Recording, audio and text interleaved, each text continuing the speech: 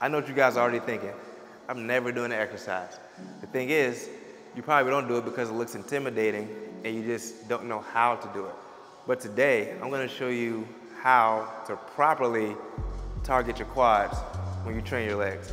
Quads has always been one of my favorite, you know, body parts.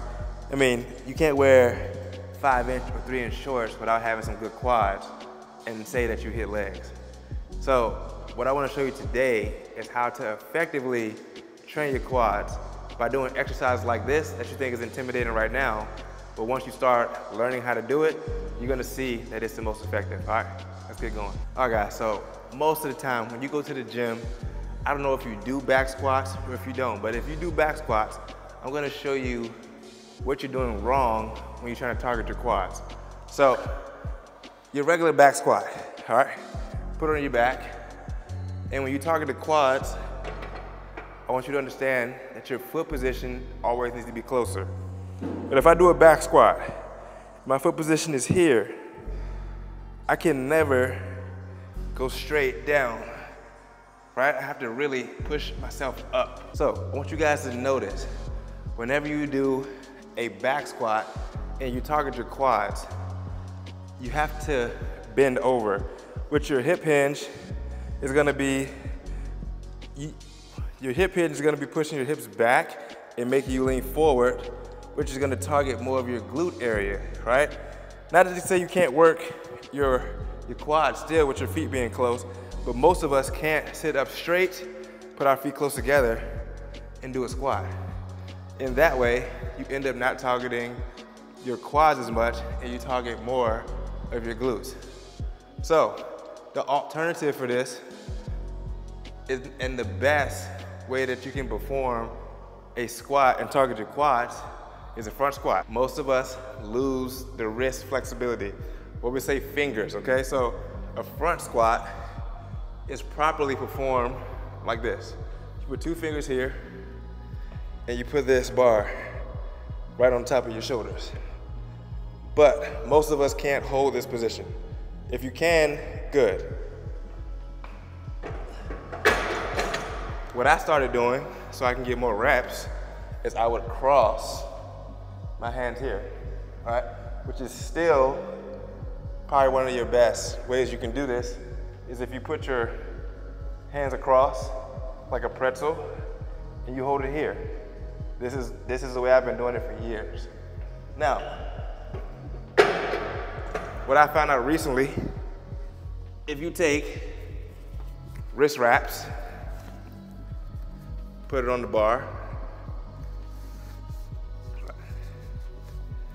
tie both of these nice and tight,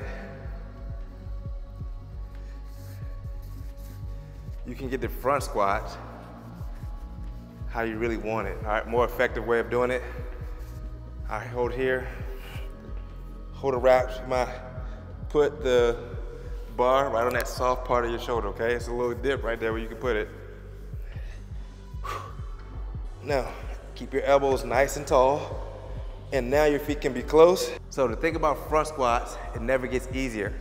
But notice, when you put the bar in front of you, it makes you hold more of an upright posture, which means as you come down in that position, your chest is gonna be upright, which is gonna target more of your quads.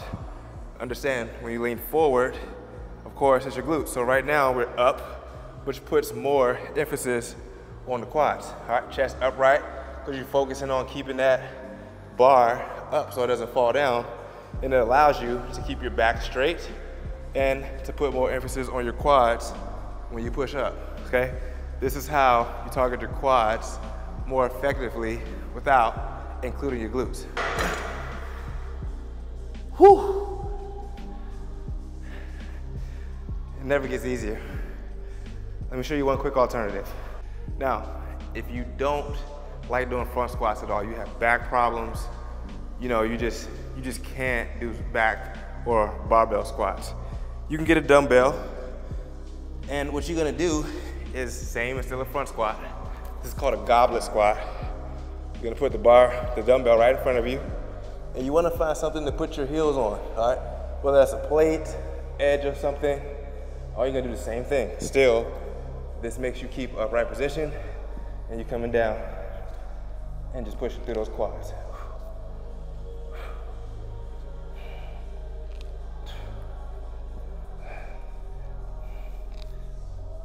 All right? That's your alternative if you can't do a barbell front squat. You come and do a dumbbell goblet squat. Same effect, more protection on your back. Let's move on. Next is one of my favorite, but least favorite, and it's Bulgarian split squats. Most of us don't know the foot position to do this exercise effectively. But any way you do it, it's still effective, but it's not targeting the area that you might want it to. So this is not wrong. The only thing that's wrong is you targeting the wrong muscle group. As you can see in this, my foot is way out in front of me and I'm leaning over. Whenever you lean over, just know that you're gonna be targeting your glutes and not your quads. Will your quad get some work? Yes, but is it gonna get the most, like the most target, is it gonna be the most targeted muscle? No. So what you wanna do is bring your foot back to where it's a narrow position. And again, always remember, if you wanna target your quads, you need to be upward, okay, in an upright position. Work the anterior chain, okay? So the anterior, the anterior part of your body is always gonna be the frontal part, which means it's gonna be harder on the front of your body compared to the backside.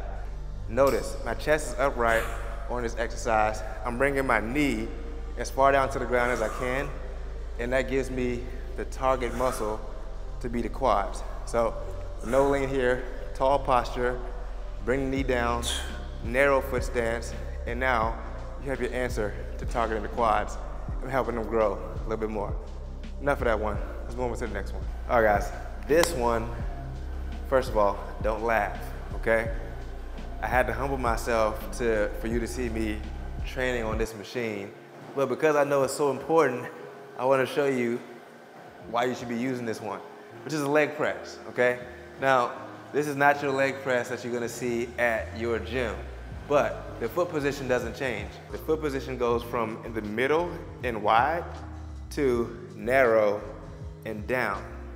Now, when you do this exercise, you have to have good flexion in your knees, your hips need to be flexible because you're gonna bring your knees all the way into your chest and you're gonna push out as far as you can go, keeping stress on the quads, okay?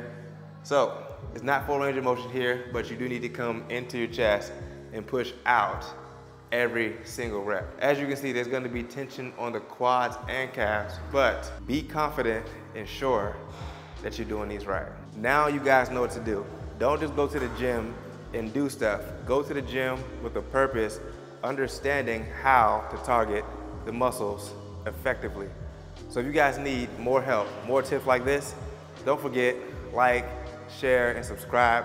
I'm gonna keep helping you guys get the best results you can so that you can feel better, look better, and do it without getting injured, all right? Progression is motivation. When you see yourself from six months ago, three months, one year, and you see that, hey, my quads grew, I got better results because I actually know what I'm doing, then you're gonna, you're gonna feel good about yourself. So guys, again, subscribe, show some love.